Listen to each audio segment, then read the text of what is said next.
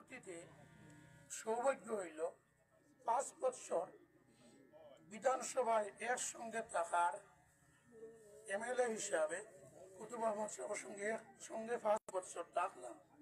এবং এই সুবাদে প্রায় সময় একটু অবসর হইলে কুতুব আহমদ সাহেব আমার কোয়ার্টারে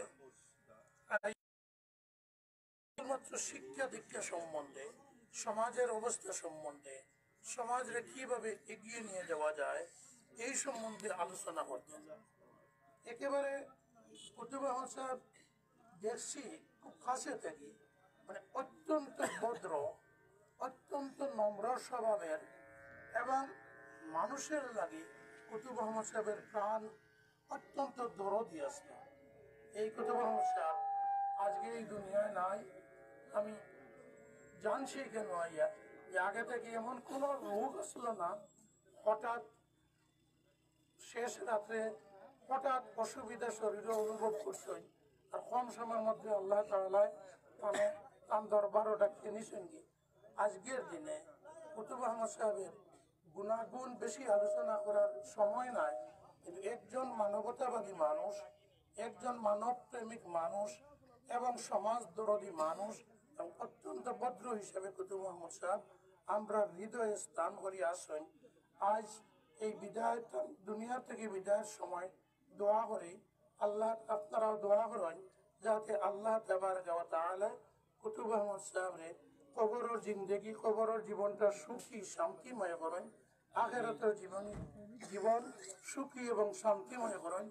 মানুষ হিসাবে যদি আমরা হিল মতো মানুষ হিসাবে কোনো ত্রুটি বিচ্ছেদি থাকে পক্ষ থেকে আল্লাহর কাছে আল্লাহ তাআলা এই জগতের সমস্ত ত্রুটি বিচ্ছুতি মাফ করিয়া আখেরাতের জিন্দগি সুখ, শান্তিময় এবং বেহেশতি জান্নাতে জিন্দগি করিয়ে দেখো আমিন।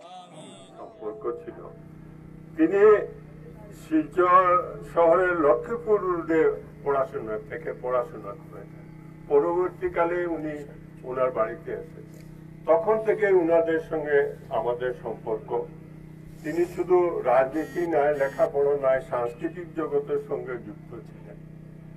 আমরা আজ থেকে পনেরো বিশ দিন আগে আমি কুতুব ভাই এবং আরও কয়েকজন আমরা এই বাদ্রিবীরের অ্যাপ্রোচের জন্য আমরা ডিসির কাছে গিয়েছিলাম। এবং সেই দিন ওনার সঙ্গে আমার শেষ কথাবার্তা। আমি প্রায় এখানে আসতাম এবং ওনার মতো পড়াশোনা আমার মনে হয় কেউ আর করে নাই। আমাদের সমাজে আমাদের সমাজে খুব কম লোক আছে যারা এত ভ্যারাইটিস অফ বুকস পড়ে। বিভিন্ন বিষয়ে বিভিন্ন এ, উনি আজকে যাওয়ায় আমাদের সমাজের একটা ক্ষতি হলো। আমি উনার মাকিফত কামনা করি। আজকে এখানে আরেকজন এসেছেন। আমাদের কংগ্রেসের বিধানী দলের নেতা দেবত শইকিয়া মহাশয়, তিনি তাপস বাবুকে পাঠিয়েছেন। উনার শ্রদ্ধাটা নিবেদন করার জন্য। আমরা এখানে তপস বাবু যদি থাকেন, ওনাকে এক মিনিটে শেষ করার জন্য বলছি। আমি এখানে বলার মতো কিছুই নেই। আমি শুধু এইটুকু বলব যে কুতুবদার কাছ থেকে রাজনীতিতে অনেক কিছু শিখেছি এবং তার সেই শিক্ষা থেকে আজ অবধি মানে আপনার রাজনীতি করে যাচ্ছি। আজকে সকালবেলা হঠাৎ দেবব্রত শইকিয়া আমাদের কংগ্রেসের বিধায়ী দলের নেতা উনি আমাকে ফোন করেছিলেন। উনি খবরটি আমার মারফত জানতে পারেন। শুনে উনি খুব বেদনা পেয়েছেন বলে জানালেন। ওনাদের ফ্যামিলির সঙ্গে কুতুবদার খুব ভালো একটা সম্পর্ক ছিল।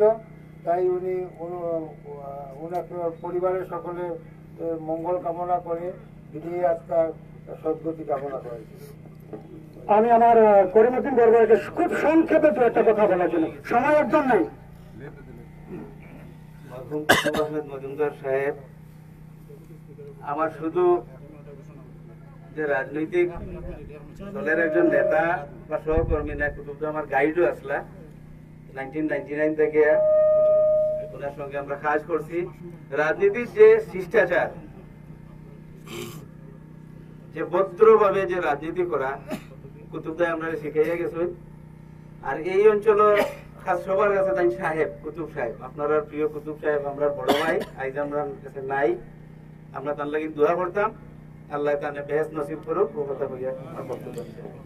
আসাম বিধানসভা ডেপুটি স্পিকার আমিন হক লস্কর সাহেবের তরফ থেকে বলবেন ভাই খুব সঙ্গে বলবেন জানাজার নামাজের সময় বোধ হয় দুই মিনিট আছে তো এখানে বলার সময় নাই শুধু আমি আসামের ডেপুটি স্পিকার আলহাজ আমিনুল হক লস্কর মহাশয়ের পক্ষ থেকে উনার পরিবারের প্রতি শোকবার্তা এবং আমাদের প্রয়াত বিধায়ক, প্রাক্তন বিধায়ক কুতুব মজুমদারের ব্যাস কামনা করছেন আমাদের ডেপুটি স্পিকার আমিনুল লস্কর। উনি বর্তমানে গুয়াহাটিতে, তাই উনি আমাদেরকে এখানে পাঠিয়েছেন। ওনার সমবেদনা ওনার পরিবারকে জ্ঞাপন করার জন্য। এখন আমি সবাইকে অনুরোধ করছি, লাইন ধরার জন্য জানাজার নামাজের সময় হয়ে গেছে। আসসালামু আলাইকুম। তো লাইন দিলে